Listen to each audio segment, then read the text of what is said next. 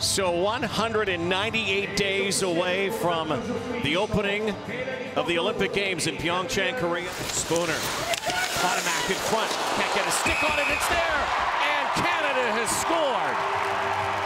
That kicking motion by Bailey Bram takes it off the board, so still zeros here in Quebec City. Head to Mélodie Daoust with Jocelyne Larocque. What a nice feed, feathered it over for circling.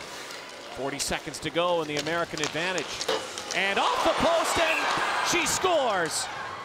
Lamoureux is out there and trying to feed it in front, and Monique Lamoureux. And the Americans have scored again on another rebound.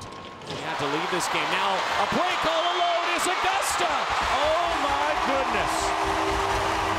What a goal. Three on one, Alex Carpenter. To feed it over. She does, and Desbiens can't get to it. Annie Pankowski has scored. Taken away there by Johnston. Turns, comes in front and wide of the net. Rebecca Johnston, great chance. Taken away there by Johnston. Turns, comes in front and wide of the net. Rebecca Johnston, great chance. This power play, Poulin, far side. Quick shot, Lacquette, nice save by Rooney.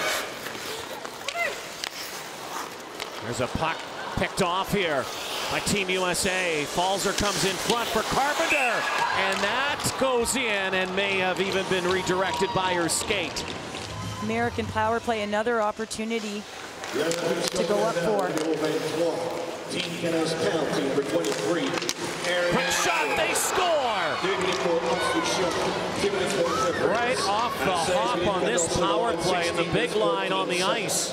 Here comes Jenner. Jenner toe drag and try to take the shot. Johnston sharp angle. Jenner again bangs away at it, and it's covered up by Rooney for the Olympics. And these teams play so hard. And a backhand, and Jill Saulnier has scored for Canada.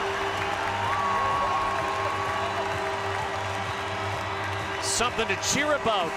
The defending world champions take it to Team Canada again. They win game one of this series, five to two in Quebec City.